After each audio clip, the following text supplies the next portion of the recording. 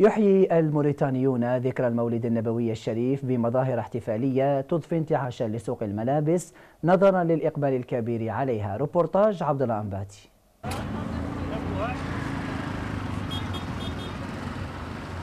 في موريتانيا كلما اقترب عيد تضيرت واجهة السوق.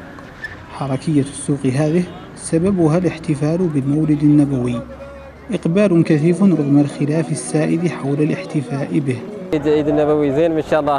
إن شاء الله فتينا زين تبارك الله. ما شاء الله. ما عندنا أي مشاكل تبارك الله. ما شاء الله. الحال ما شاء الله. مترحم ما شاء الله. ولا عندنا أي مشاكل تبارك الله. العيد كان زين ما شاء الله. وكان سعيد ما شاء الله. الملابس هي البضاعة الرائجة والأهم بالنسبة للمتسوقين.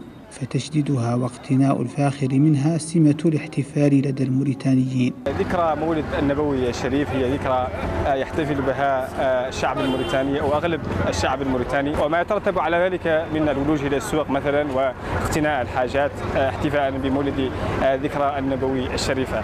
برغم ما يحتدم من فتوى حول الاحتفاء بالمولد النبوي تبقى ذكرى مولده صلى الله عليه وسلم حدثا يعظمه الموريتانيون.